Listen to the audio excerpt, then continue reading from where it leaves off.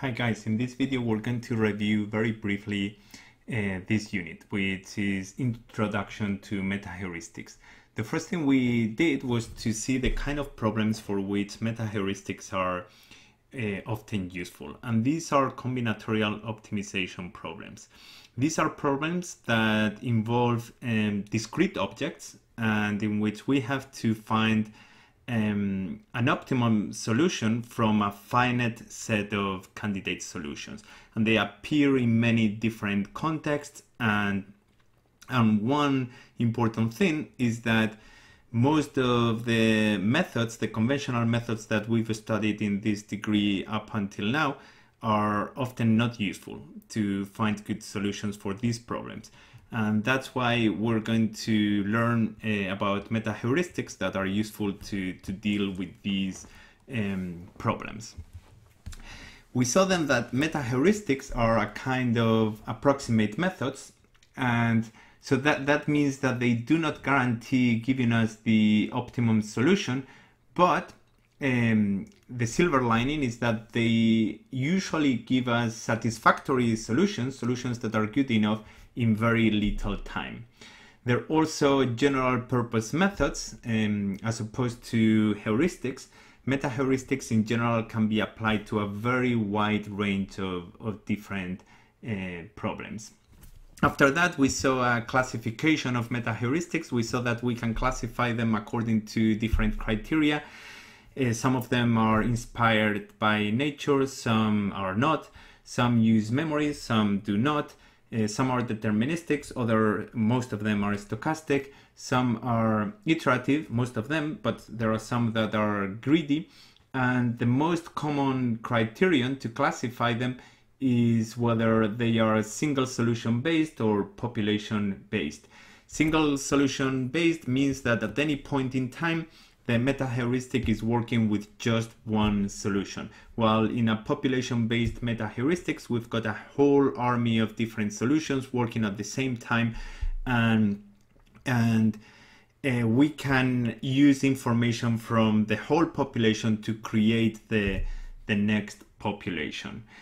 Often single based solutions tend to focus more on on intensification of the search while uh, population-based uh, solutions tend to explore more the, the search space. And these, these are actually two really important strategies that we have to, to find um, an, an optimum in, in any problem. These are exploration and exploitation. So to find uh, a good solution, we have to keep a, a good balance between exploring a wide range of the search space so we don't miss any good areas.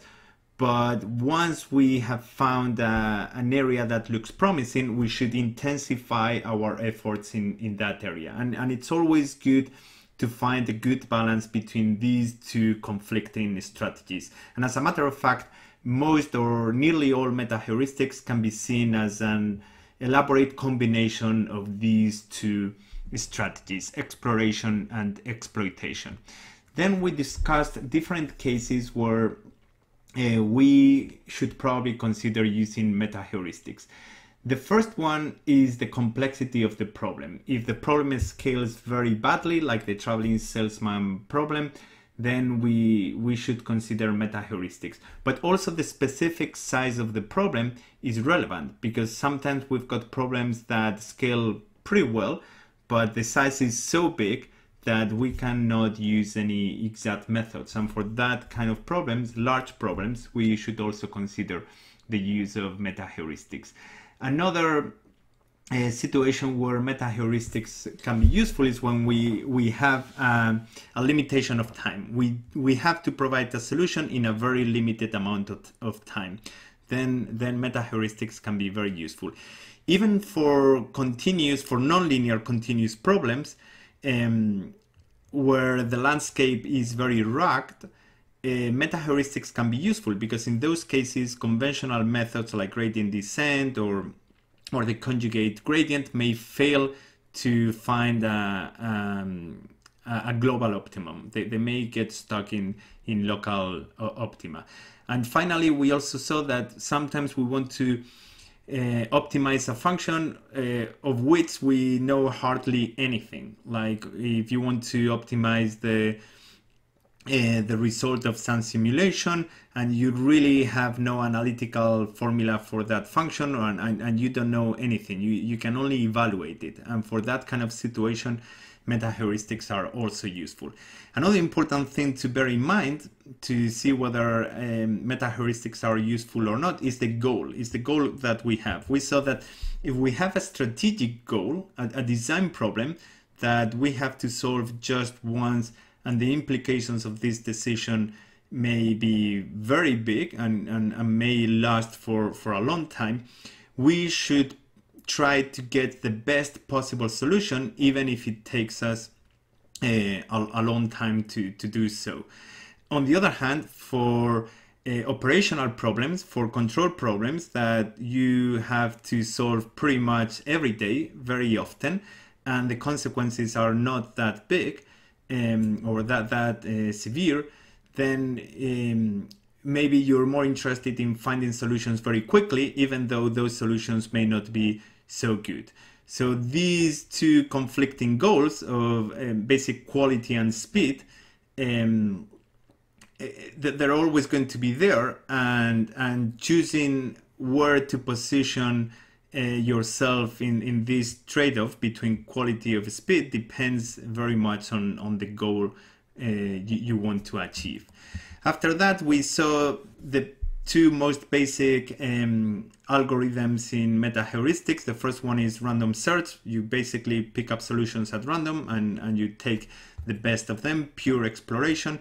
And then we also saw a family of local search algorithms, which is the, the opposite. In local search focuses on exploitation of uh, on intensification. Basically, you choose a solution, you look at its local neighborhood, and you find a, a, a, neighbor. You select a neighbor in in that local neighborhood. You move there, and you repeat the process of looking at the neighbors of that neighbor and and and selecting another one and, and moving there. Mm, in local search algorithms, it is crucial to define um, the neighborhood mapping appropriately. And appropriately means that it must have a strong locality. This means that neighbors should have similar quality in order uh, to to local search to to perform to perform well. Um, then we saw an example of how to use local search for um, the traveling salesman problem. And and we, we we saw that local search the problem that it has is that it, it, it falls in a local optimum. And and in the kind of problems we want to solve the combinatorial optimization problems um, the landscape is usually very rugged. It, it, it has many local optima so falling in a local optimum can be a, a major drawback of, of this method. So after that, we discussed different approaches to try to, to escape from local optimum. And some of them was starting from different initial conditions. So we, we explored different local optima. We saw also that another approach consists in changing the landscape of the problem by, for instance, adding noise to the objective function or maybe changing the neighborhood function. And finally, uh, accepting non-improving neighbors could be another useful approach from time to time in order to explore a wider um, uh, range of the search space you may want to accept um, sometimes non non-improving neighbors so to conclude basically meta heuristics are a set of, of general purpose tools that uh, will give us usually good solutions, satisfactory solutions in, in very little time. And all of them involve this trade-off between exploration and, and exploitation. And with this, we finish this introduction, and I look forward to seeing you in the next um, list of videos. See you later, guys. Cheers. Bye-bye.